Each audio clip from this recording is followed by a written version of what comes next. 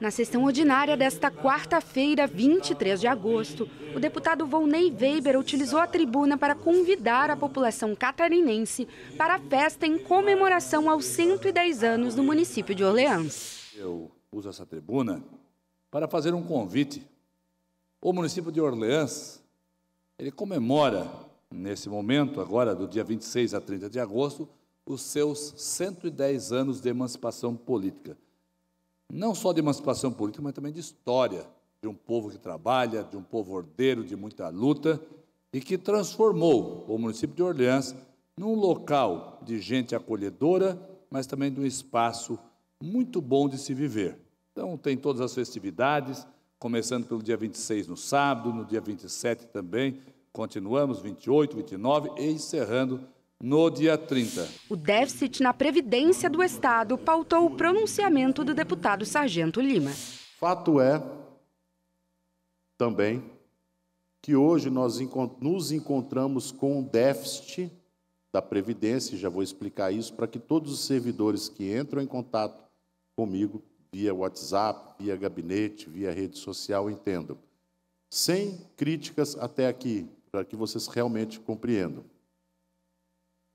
Hoje, nós contamos com um déficit que fica entre 5,5 e 6 bilhões de reais. Essa é a grande verdade.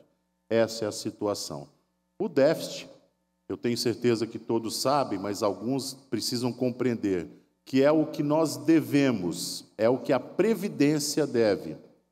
Tá? É isso é que falta para inteirar nós, através da arrecadação, recolhemos cerca de 4, milhões, 4 bilhões de reais e meio e fica se devendo 5,5 a 6 bilhões por ano. O deputado Emerson Stein falou sobre a criação da bancada do Vale do Itajaí na Alesc. Quero usar a tribuna nesse momento para, é, em nome desse deputado, agradecer e dizer que hoje foi instituída a bancada do Vale do Itajaí por nove deputados.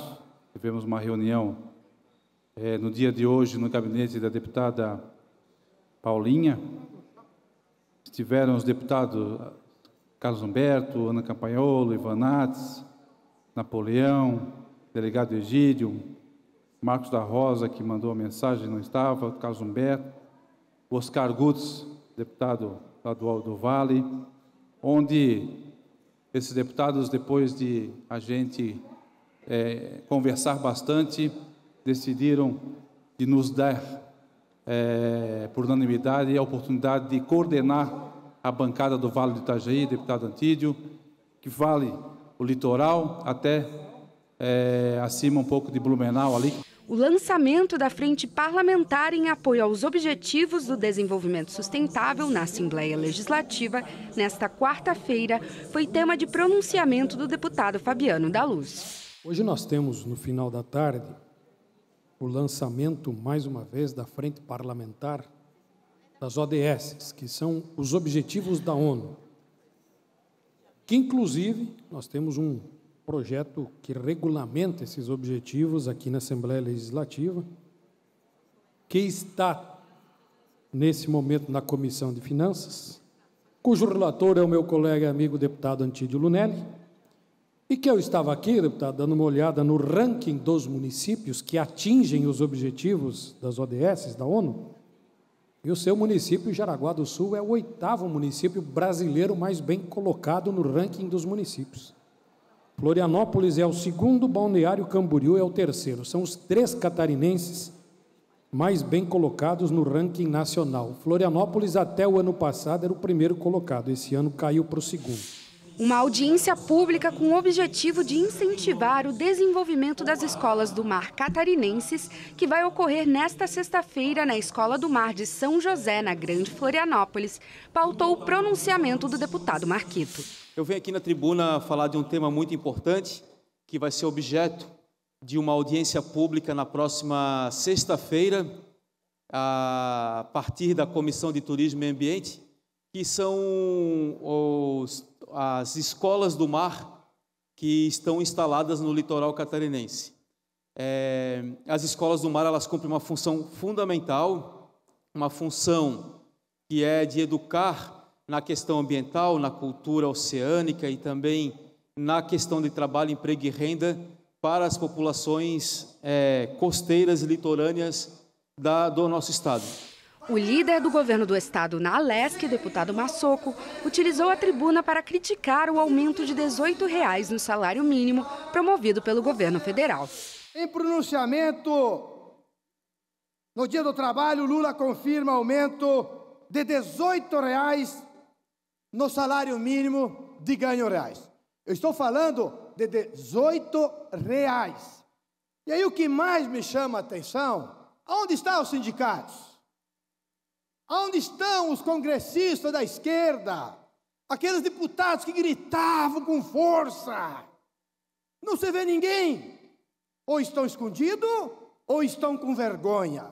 Porque se falava tanto que o pai dos pobres ia resolver o problema. O deputado Antídio Lunelli pediu ao governo do estado a pavimentação de trecho de rodovia localizada no município de Guaramirim.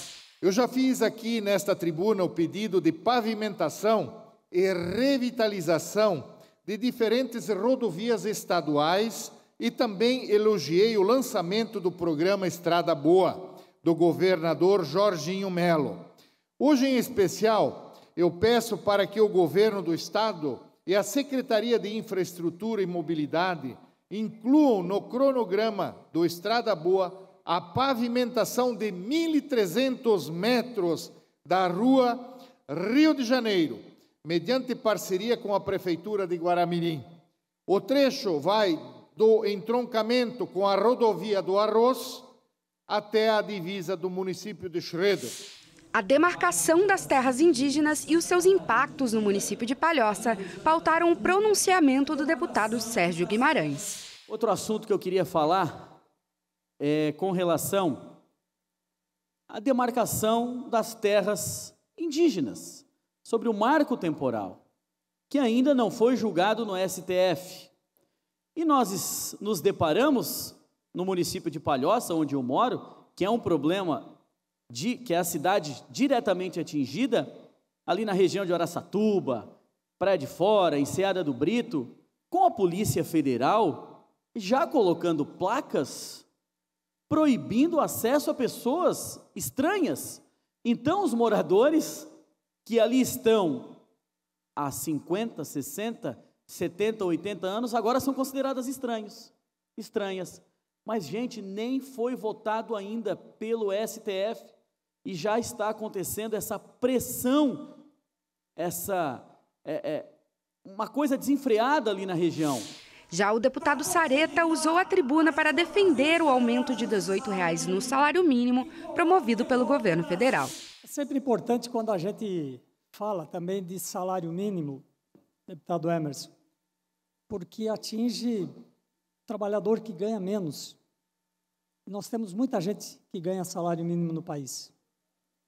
Por exemplo, todos os aposentados da área rural ganham salário mínimo. E quando se tem algum ganho real, é importante. Faz inclusão social, faz justiça social. 18 reais de aumento do salário mínimo real não é muito, mas é importante. Para nós, talvez, que temos aqui um belo salário, não seja. Mas para quem ganha lá mil e poucos reais, faz a diferença. Mas ainda se nós pegarmos um comparativo, primeiro ano do governo anterior, quanto de aumento real? real? Zero. Quanto de aumento real nesse governo no primeiro ano? 18 reais. É pouco, mas zero é humilhante. O deputado Ivan Nats falou sobre a remuneração dos defensores públicos do Estado. Eu vim, eu vim compartilhar com Vossa Excelência um pedido que vem da classe dos advogados de Santa Catarina e que precisa de ajuda da Assembleia, precisa de ajuda do governo do Estado, do Tribunal de Justiça para a gente corrigir um grande equívoco, que é a remuneração do defensor dativo, aquele advogado onde aí que atua em defesa dos menos favorecidos e que em muitos lugares, em muitas comarcas de Santa Catarina, ainda não tem a defensoria pública. São os advogados que trabalham gratuitamente remunerados pelo Estado para a prestação de serviço. Já o deputado delegado Egídio demonstrou preocupação com o aumento no número de feminicídios no estado. 10% foi o crescimento do número de feminicídios em Santa Catarina. Isso no primeiro semestre de 2023. Isso me preocupa muito. E na segunda-feira, dia 21, as forças de segurança do estado de Santa Catarina fizeram uma grande operação denominada Chamar, em combate à violência doméstica e familiar. Isso demonstra que os nossos policiais estão dando uma resposta efetiva, à altura e imediata a esse crime.